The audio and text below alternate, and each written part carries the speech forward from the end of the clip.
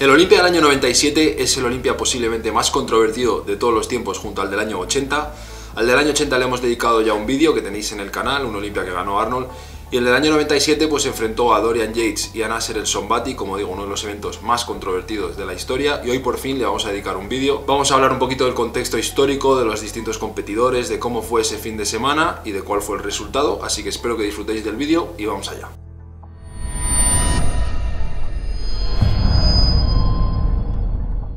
Como siempre, pues el Olimpia del 97 prometía ser una edición fascinante del Mr. Olympia, la gente esperaba ver a los grandes culturistas de los 90, a Dorian Yates, que ya era cinco veces Mr. Olympia, defender su título, a Flex Wheeler, que había hecho un segundo puesto frente a Dorian en el 93, a Kevin LeBron, que había hecho un segundo puesto dos veces frente a Dorian, a Sean Ray, que había hecho también un segundo frente a Dorian dos veces, y por cierto, a todos estos competidores que acabo de nombrar les hemos dedicado vídeos a cada uno, a su carrera, a sus vidas que tenéis en el canal, si queréis verlos pues los tenéis en el canal de Mal Músculo, y además de todos estos pues había otros grandes competidores que venían desde abajo, como era el caso de Lee que debutaba en el Mister Olympia, como era el caso de Nasser, que venía de hacer un tercero el año anterior, pero había sido descalificado, como bueno, explicamos en el vídeo de Nasser, que también tenéis en el canal. Y a pesar del dominio de Dorian Yates en las últimas cinco ediciones, pues había dudas en la comunidad de si podía seguir defendiendo el título, de si iba a conseguir su sexto, por dos motivos principales. Uno de ellos era el tema de las lesiones, ya venía acarreando lesiones, los años anteriores ya se le empezaban a ver lesiones visibles en el físico, especialmente la lesión que sufrió en el bíceps preparándose para la Olimpia del 94,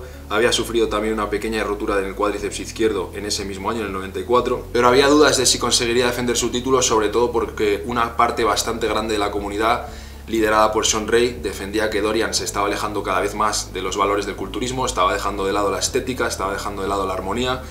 y lo estaba sacrificando todo por un tamaño monstruoso, algo que a mucha gente no le gustaba. Y realmente, pues dando un poquito de contexto histórico, yo creo que es comprensible. O sea, hace 10 años antes de esto, el campeón era Lee Haney, un físico completamente diferente, y 20 años antes, el campeón era Frank Zane, con lo cual el cambio de paradigma en el culturismo fue muy rápido, fue muy extremo y había gente pues a la que no le gustaba lógicamente. Por si todo esto fuese poca presión para Dorian, seis semanas antes de competir tuvo que ser ingresado durante tres días en el hospital por una hemorragia estomacal causada por antiinflamatorios que le habían recetado para dolor en el hombro. A duras penas consiguió recuperarse, seguir preparándose y tres semanas después, justo tres semanas antes de la competición, sufrió una rotura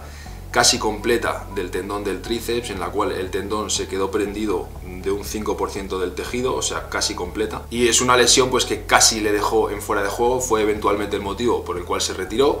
pero ese año consiguió eh, acabar la preparación, como digo, fue tres semanas antes, las últimas dos semanas y media no entrenó, simplemente siguió con la dieta, hacía cardio, pero no entrenaba, lógicamente no podía. Y mientras esto pasaba con Dorian, el otro gran competidor era Flex Wheeler, como hemos dicho, y salió a la luz una historia tres semanas antes también más o menos,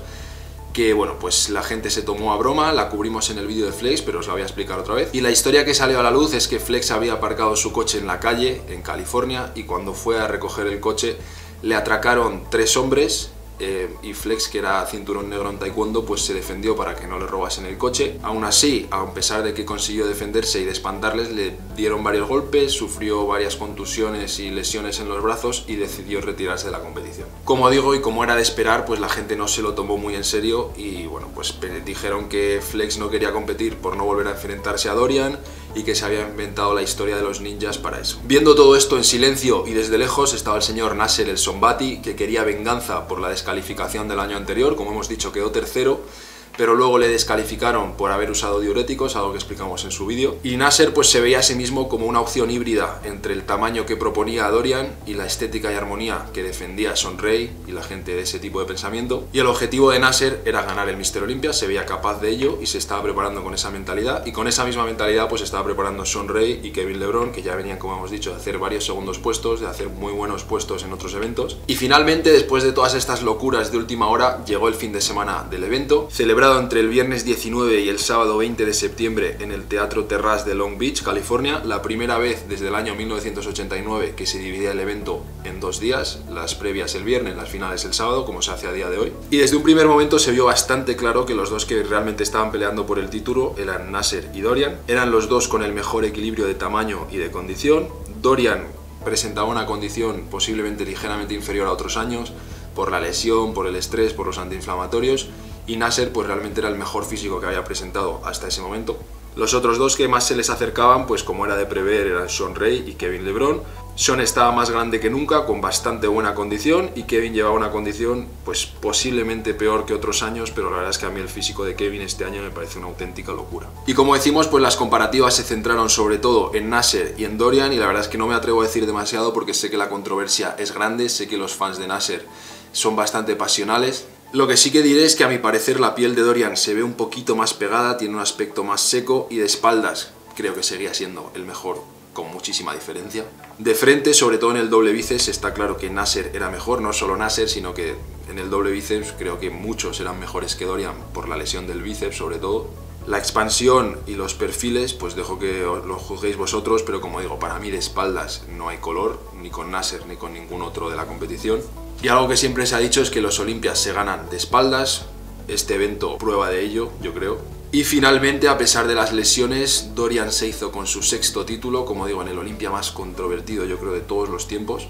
A Nasser la derrota le afectó bastante y de hecho solo se mantuvo a un gran nivel un par de añitos, ganó el, Arnold del año 99 y a partir de ahí decayó muy rápido. Dorian se operó del tríceps, intentó volver a entrenar, tenía en la cabeza la idea de competir otro año y defender su título dejando una mejor imagen porque a pesar de que había ganado, él sabía que no era su mejor físico y que la gente se iba a quedar con un recuerdo de él que no era el que él quería pero rápidamente después de la operación se dio cuenta de que no podía entrenar como necesitaba y decidió retirarse. Kevin y Sean siguieron peleando por el Olimpia varios años más, al igual que Flex Wheeler, que volvería al año siguiente para quedar segundo por detrás de un hombre que había quedado noveno en este Mister Olimpia, pero bueno, esa es una historia para otro día, así que espero que hayáis disfrutado de este breve resumen del Olimpia del año 97, dejadme vuestra opinión en los comentarios y nos vemos en el próximo vídeo.